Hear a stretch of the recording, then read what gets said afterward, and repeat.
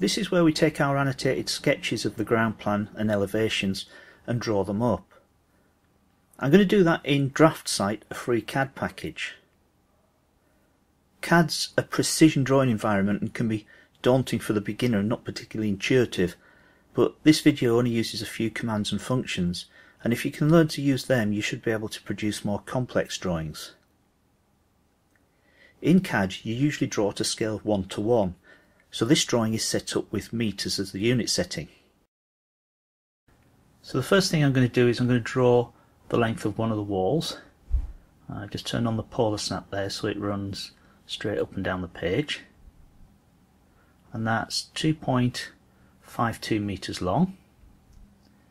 I'm now going to use the circle tool. Click it on the end of that line and we're going to have a radius of 4.85 meters. And then a circle from the other end which is 2.77 meters. And where the two lines cross that's where our peg is. So click on that end of the line join it to that point there and to that point there. And I can now delete the two circles that I've drawn and I'll go back to circle again and I'm going to do the circles that mark the next peg. So 5.34 meters there and then from this other end 3.27 meters. Again I'll use the line tool just to join that all together. And next I can delete the circles again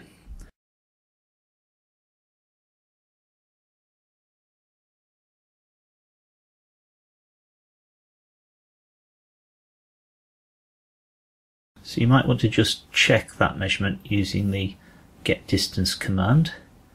Click both ends of the line and that's come out at 6 meters 68 which is the correct length.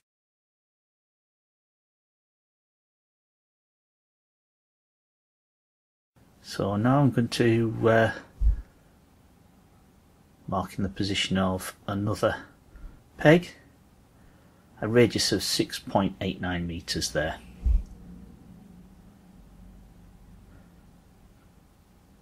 And the next one is 8.33 meters.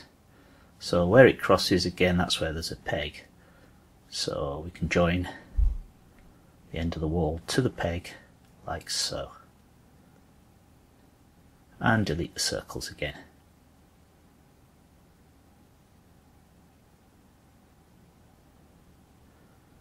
So I do another pair of circles, 6.89 meters.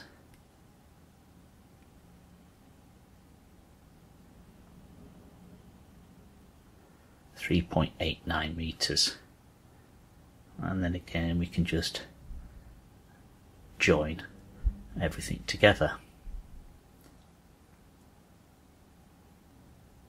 and delete the circles and then draw the lines between the two points. And continue doing that until the whole of the network of triangles is completed. Next thing what I'm going to do is add another layer to the drawing, which I'm going to call drawing. Now I'm going to keep that one white. I'm going to change this one to a different colour. What we've done so far is provide a, a framework so now in the layer called drawing, we're actually going to draw the walls in. Just by clicking on top of our existing drawing.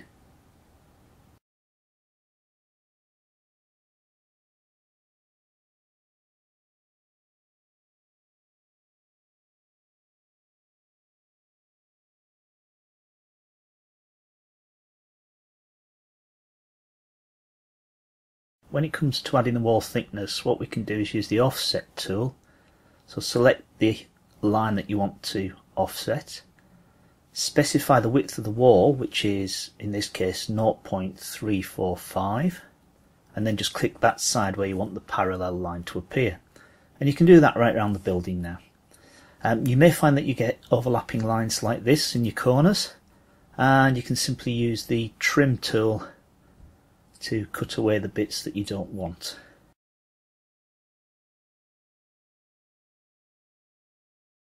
So click on the trim tool, then select the line that you want to use as a cutting edge, click on the segment you want to remove and it's as simple as that. When that's all done you can turn off the layer that has the triangles in it and you'll see there your finished ground plan. So once your plan's finished you can set up some new guides to help you draw the elevations.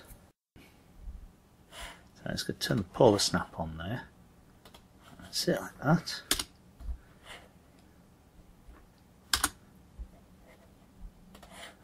So there's two lines setting out the extent of the building there.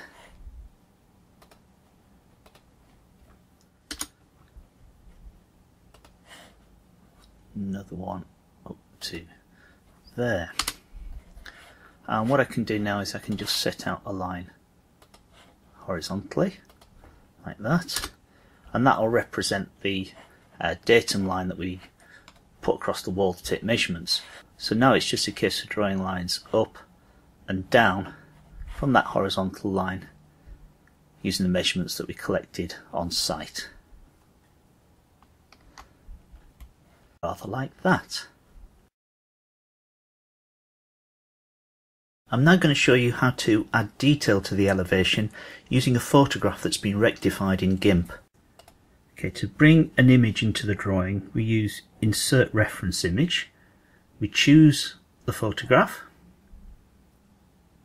Make sure you check the insertion point and scale later boxes. Click OK and then click on the screen and drag out to insert the photograph. Now we need to scale it. So first of all we need to select it. Then we need to specify a base point. I'm going to use that edge to the wall there. Then it wants to, it asks us if we want to specify a scale factor or reference. We're going to type R because we're going to use a reference. So then we click on the wall, pull the line out, click on another point we know, and put in the real world value, 3.09 meters.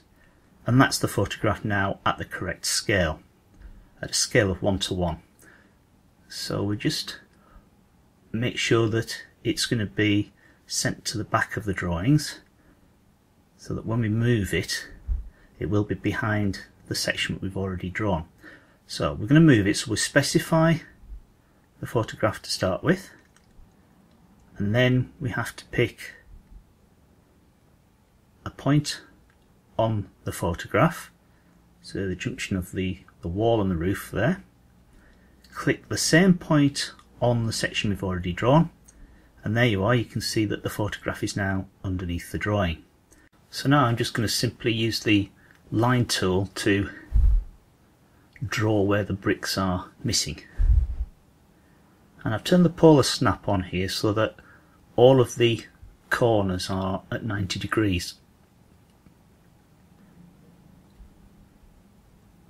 so there we are up to the roof I'm coming to the side now.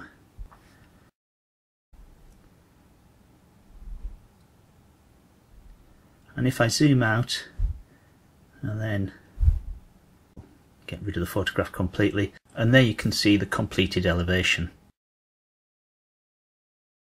CAD's not the place to make pretty pictures, and so the drawing's been printed as an SVG file and then annotated in Inkscape ready to add to the site report.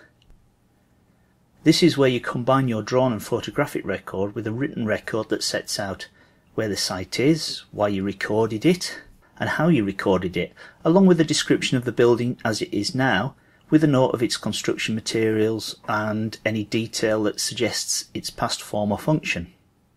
You should also set out what documentary evidence you've found that has helped you in your interpretation, this may be as simple as ordnance survey maps that show the building on one edition but not on another.